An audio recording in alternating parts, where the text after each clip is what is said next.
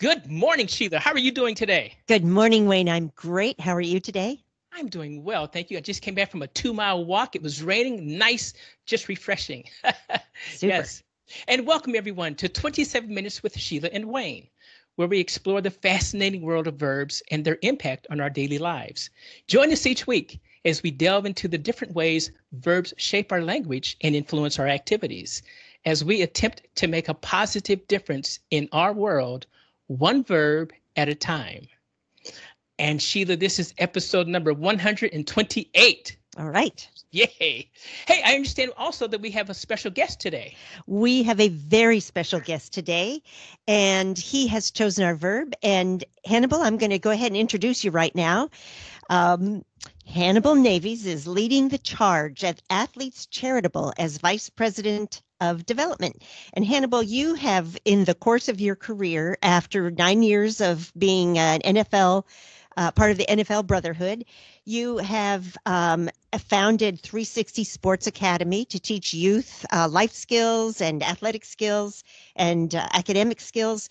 You were the director of engagement and outreach for the Trust, which was sponsored by the National uh, Football Players Association, and that's helping uh, professional athletes transition from football into other walks of life.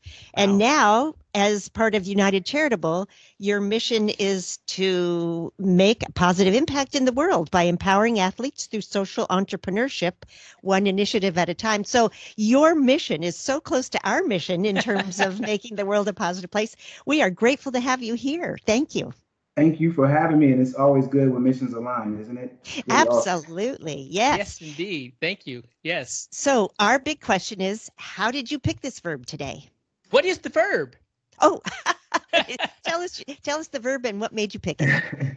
the verb today we're going to talk through is lead. Um, so we, we're, I guess the reason that verb came to me, I think, um, when, when I look at my life and look at one of the most important things, or most impactful things that kind of kind of got me to where I am, and it's not always knowingly, but lead lead was that was that word. Whether it's, I was being taught how to lead or following a leader or those things, I just thought it was super important to and I thought it was just such a great word. And I obviously, you talked, you spoke about 360 uh, football, 360 Sports Academy is my Mhm. foundation. The, the tagline of that, which I, I started years ago when I retired from football, was leadership development through athletics. So that's just always been my mantra. If you can be a good leader um, in many facets of life, then you can you can be successful. Excellent. That's Excellent. wonderful. And Sheila, how can our listeners find you? How can they email you with comments? Oh, thank you. Wayne, my email address is Zeke and Sheila at yahoo.com. Zeke, of course, is my golden retriever who's Aha. listening in. and Hannibal, how can our listeners reach you? Uh, listeners can reach me at um, 360sportsacademyfoundation.com, or you can also visit me on my website at athletescharitable.org. Excellent. And our listeners can reach me at wayne at mindsyncing.com. That's M I N D S Y N C I N G.com. And again, all complaints and dirty thoughts come to me. All the good thoughts go to Sheila. and Sheila, what did your research come up with you? How, how did you what what how did you find the verb lead and what was the definitions you came up with? I have two definitions here. And um, Hannibal, what we find is Wayne usually has about six definitions. So Right. I'll start with my first two uh, to guide on a way, especially by going in advance, or to direct a course or action. Okay. And and yeah, I have one, two, three, Yeah, four. five. I yeah, have yeah. a lot. Okay. Okay, all right. okay. All right. Here's my first one. To control a group of people, a country, or a situation. The second one is to be in front, to be the first or winning, especially in sports or other competitions. Another one is to cause someone to do something, especially something bad, and hmm. especially something good Oh. to show the way to a, a group of people, animals, vehicles, etc., by going in front of them. Another one is to take someone somewhere by going with them. Another, to go in a particular direction or have a particular result or allow or cause. And um, the last one I'm going to say is to live a particular type of life, leading a good life. Ah. So all those were fun. Sheila, what did you think of the verb when when you found out that Hannibal wanted to talk about lead? What was your first thought on lead? My first thought it's so hard to talk about the verb lead without also talking about the noun leadership because because they're so tied in with each other and uh, there's a lot of research done about leadership but uh, mostly i think i'm excited that to lead is a skill you can learn it's not just something you're born with Mm. although you can also be born with leadership skills okay. About yourself wayne my thoughts? I I was extremely excited because you know I, I know one or two things about leadership, not a lot, but that's okay. Mhm. But I'm very passionate about the verb, and y- you know what? It's a great verb, and we all learn it Mhm. at a very young age. And I'm going to give you an example of that. And, and Hannibal, I want you to chime in here um, silently. I'm going to ask us a question. Everybody raise your hand who has ever played Follow the Leader. Raise your hand. Hannibal, is your hand raised? hand is, my hand is raised. And Sheila, is your hand my, raised? my hand is raised Okay, excellent. See, kids know this because now put your hands down. Raise your hand if you have ever played the game. Follow the manager. Sheila, is your hand up? it is not up My hand is not up. Hannibal, is your hand up? Definitely not. so there's something different between leadership and management, and we all learned that at an early age. Everybody wanted to be the leader from kids, so they so they know that it's something big. Hannibal, what was your first sight of leadership? When did you know that you were being led or that you were leading? Um, I didn't have to go too far. I mean, I was, I was, I grew up in a household with a very strong leader in my father. So I mean, I, I, Aha. I didn't go far uh, to search it, and probably at the time didn't even know how powerful I was being led. But um, it's, it didn't, like I said, I didn't have to go far or search far and high to find a, an impactful, motivating, and powerful leader in my household, which was my father. And sounds like an inspirational leader as well. Absolutely. He, he didn't just, you know, I think it all starts at home. I think the thing about leadership is it it starts internal and, and it can, can go external. So I mean, it always starts with yourself, leading yourself, but then leading your family, leading those around you, and then that grows to leadership in your community and leadership beyond, right? And that's how my father led. So he not only led his household and his children, um, but he was a very, you know, he's a leader in the community and, and, and was seen that way, and he was able to lead and motivate. Excellent, excellent. That's a great start in life. You bet. And and you know, taking the lead means nothing if the title is the only thing that you bring with it. And so in my in my research, and I didn't have to go too far, but in my research, I found as a leader, you have a you have to bring a skill set that is demanding of every aspect of that important role. And and Hannibal, chime in here if you if you need to, want to. Um, I have a list of of things that I think leaders need to do. I one, I think they need to be a communicator. Anybody agree, disagree? Sheila? I agree.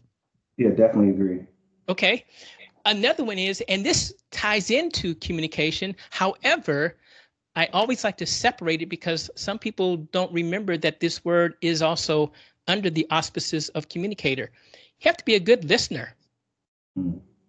I'm sorry. What did you say? Have to be a Just good kidding, lis- just listener. kidding, just kidding. no, no pun intended, huh? okay. I- there's this word that I love, and I look around and I'm reminded every day because as I go on the internet, as I read newspapers, listen to the news, I see that this doesn't happen. A lot of people walk the talk, but they do not walk the walk. The word that I'm thinking of that a leader has to have is integrity. Mm-hmm. And I define integrity as the quality of being honest and of the highest ethical and moral character. Any thoughts on that, Hannibal? Yeah, I mean, I, I, I definitely agree with you. Integrity. I mean, some people, there have been plenty leaders in this world that we can all speak of that have not had integrity, but the leaders that that I speak of, that I try to raise or motivate or be myself, definitely have to have integrity, have to have character. I mean, for people to follow you, they have to know that you're, like you said, you know, just telling us um, what's the best thing to do, but you're also living that lifestyle. So that integrity is is super important. Absolutely. Yes, Yeah. indeed. Any any other thoughts? Because I have a I have a list of, of other words here, other other thoughts. I Sheila, can I I just think- go ahead. I'm sorry. I think a good one thing that people um, I think is missed when it comes to leading is uh, a good leader is somebody who- who's a good follower as well. Mm. Um, so learning how to follow um, learn how to be a faithful follower and somebody. You that means you have you've had experience um, following good leaders. You know, I mean, your your leadership comes from somebody. You have to have an example to give you some kind of leadership, and being able to follow is super important because you know when you become a leader, you want to lead. Um, you're going to have people that you have to motivate that are going to be following you. So you mm-hmm. have to mm-hmm. understand what that means to to be that leader and also be a good follower. Before you become a good leader, you have to learn how to follow. You have to learn how to learn. You have to learn how to do those things. And so before I was a leader in my household, I was a follower. Like it sucks. my father was a was the leader of my household, but I had to learn how to follow. And there have been several examples in my life where you have to listen and you have to learn how to follow before you can become a good good leader.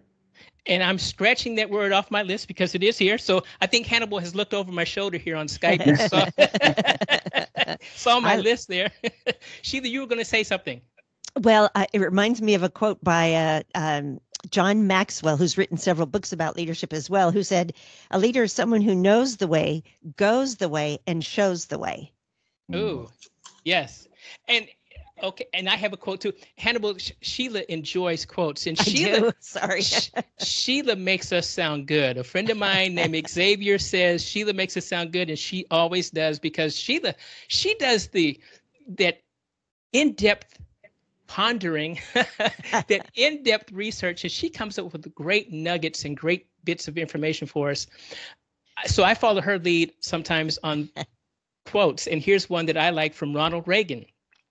He says, Leaders surround themselves with great people, delegate authority, then get out of the way. Mm. and I think that is so true. And much like on the football field, um, your coach can only go so far. He or she cannot make the play for you, can they? Absolutely, no, they cannot. They can only coach you. They, when it's on the field, it's up to us to take the leadership that we had and go out there and execute. Yeah. And and how how do you employ that with the groups of individuals that you talk to now? Because I, I have seen you on the on the web where you're talking to. I think it says um, freshmen um, freshman yeah. NFL players, right? Yeah, rookies. Yep. Yes. And how do you, how do you convey that kind of a message uh, of what we're talking about today to them as they embark in their NFL careers? Well, I, I just embark, you know, talk to them about, you know, I talked to you guys earlier about leadership being first starting with yourself, um, and not always, you know, communication is a big thing part of leadership, but every leader doesn't have to be the rah rah guy in the room, doesn't have to be the loudest voice in the room. Sometimes the best leaders are the ones who who listen and lead by example, right? So mm. the leading by example thing is kind of I take it hard because I think for a long part of my life, um, I wasn't a big uh, vocal person, but I was I was definitely a person who led by my actions and led, you know, uh, like I said, led by example with what I was doing. So I always encourage the young men and the young women and the young athletes that I speak to you know, to take yourself, to lead yourself first, right? To take the time. You can't lead a group of people, you can't lead a community until you learn how to lead yourself and walk the walk. Mm-hmm. Um, so I, I talk to them a lot about that and just being aware of, you know, as a leader, uh, you know, people are watching you. People, when, when people less expected, you know, people are watching you. So you have to work when people are not watching. And, and that's the, mm-hmm. that's the biggest thing that I really try to convey to them is that the work that you put in, you might not think that people are watching and, and, seeing what you're doing, but people are watching what you do, especially if you're a leader. So these are the things I really try to convey to the young rookies coming in. And also, like I said, find a mentor, find a leader to lead. I think that's super important. You know, like mm-hmm. I said, being a follower of a good leader is super important because it shapes how you become a leader and how you can step up and how you grow into your role as a leader. Exactly. And and I think I heard you say, and this is on my list, I think I heard you talking about a concept of building relationships because Absolutely. a leader has to do that. A leader has to connect those dots and let everyone know the value that each brings.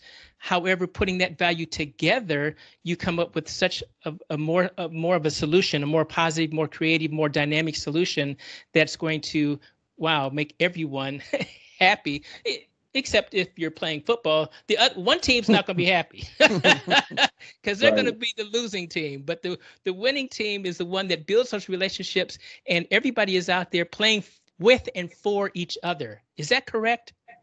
Yeah, I mean every every especially in sports, especially in football, especially. I mean, I played on the defense side of the ball, linebacker, so my role and my job um, wasn't always to make the play, but sometimes it's, it's, to set the other person up to make the mm-hmm. play. So everybody depends on each other, and you have to be willing to be a part of that team.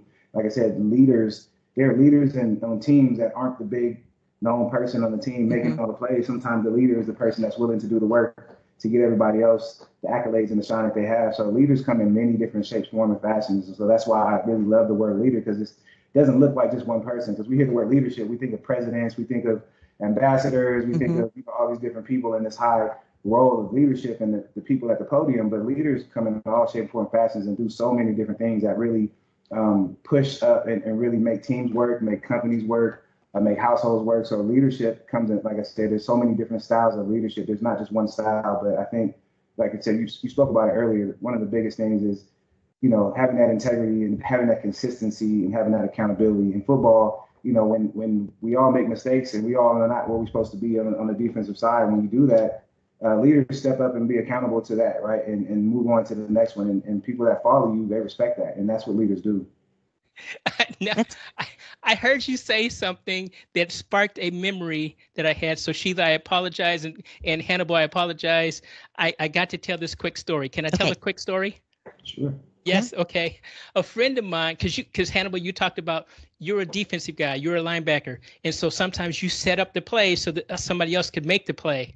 A friend of mine was a great high school footballer, and I asked him. I said, "Well, how come you didn't play in college?" He says, "Well, I went out for one practice." And I said, "Well, what happened?" He said, "He was a wide receiver." He said he went across, he went down and out, did a Z out in a Z in and came back across the middle. He says the middle linebacker stood him up after he caught the ball, and somebody else hit him. And they, he said he hit me so hard that my numbers fell off my jersey.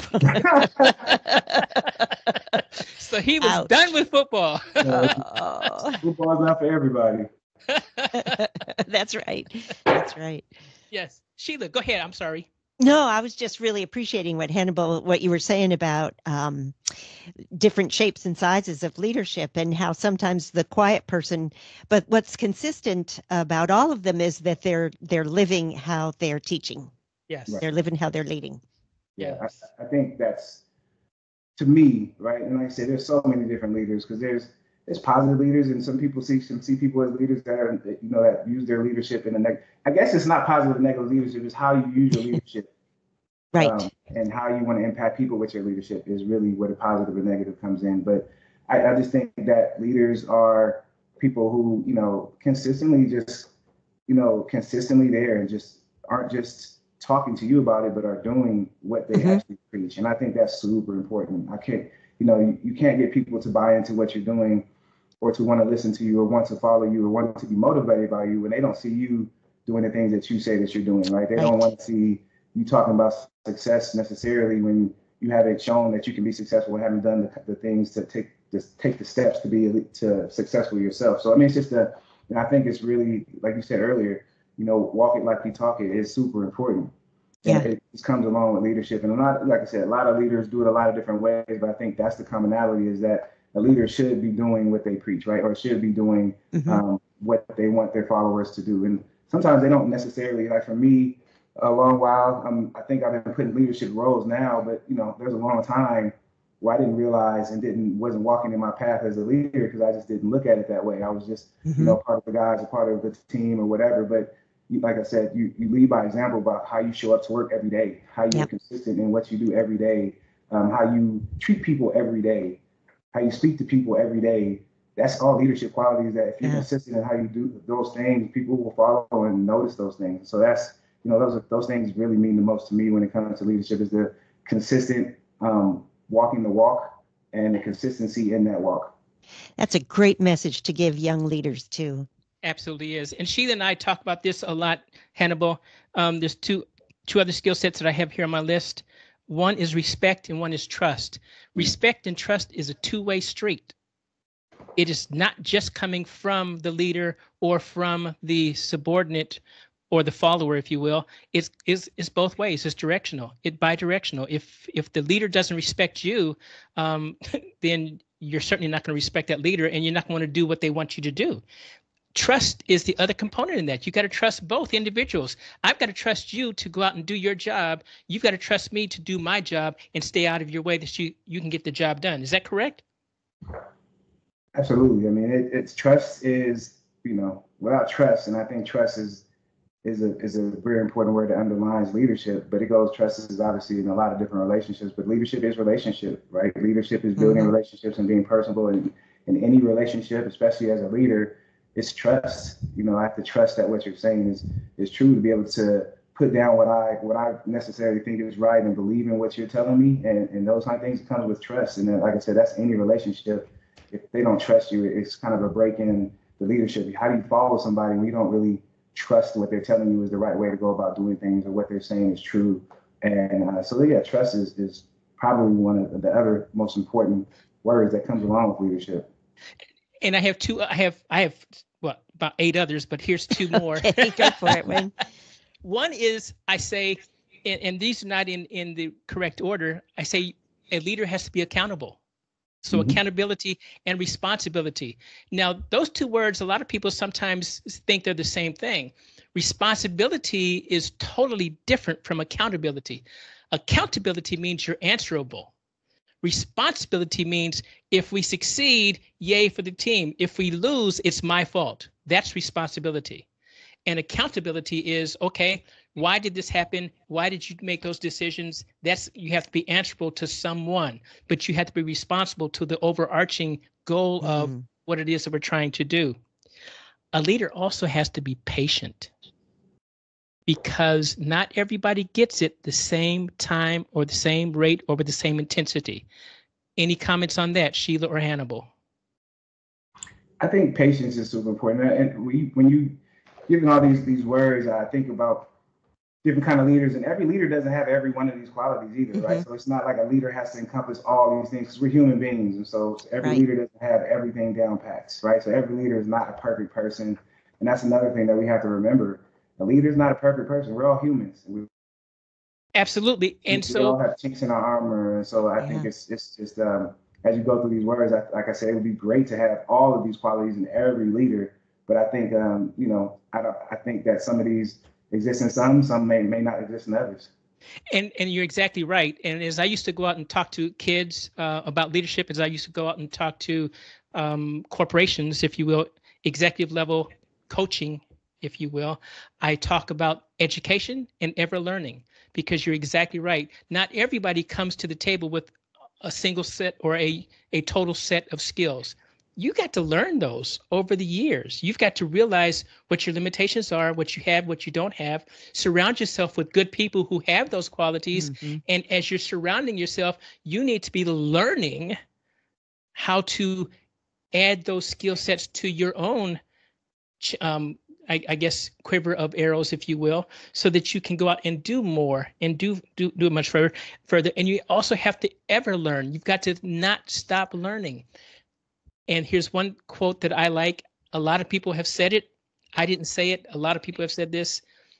Leadership is definitely understanding that you are not the most important, you are not the most smart, you are not the smartest person in the room a leader has to know they are not the smartest person in the room about everything because as you said hannibal so eloquently um, we all don't have all of those things on my list right right, right.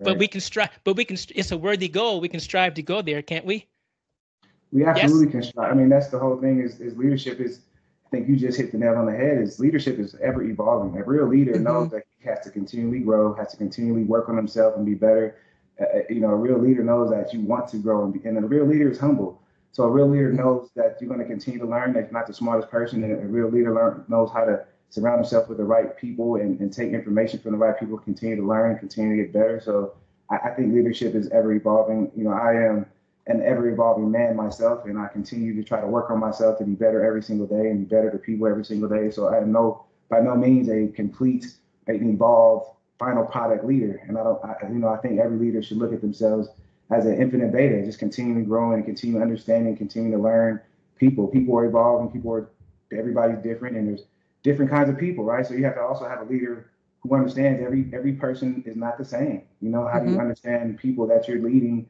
How do you understand them? How can you motivate them? Because everybody's not motivated by the same things. Everybody doesn't have the same mm-hmm. emotional intelligence, certain the same personality. So a real leader knows how to understand people and, and, and different types of people and different ways to motivate and, and understand it. You know, the only way you understand the people is to take the time to listen and take the time to be humble enough to say, I don't know everything, and just try to, you know, and, and want to take the time to understand each individual person that they're dealing with. So, you know, leadership is so many uh, branches of it. You know, I yeah. talk about all day. That's why I love the word, but it's uh, it's not just one one thing, and that's why I love teaching it to the kids because sometimes the kids don't see themselves as leaders, and when you talk about leadership in a very broad way and start explaining what leadership can be, then they can start seeing themselves as that leader as well. And that's the most powerful thing about leadership. Is it's not everybody can be a leader, right? And and right. You, you, can, you know, some people are born with it, but some people learn and, and work at being the leader, and that can also happen. So I want these young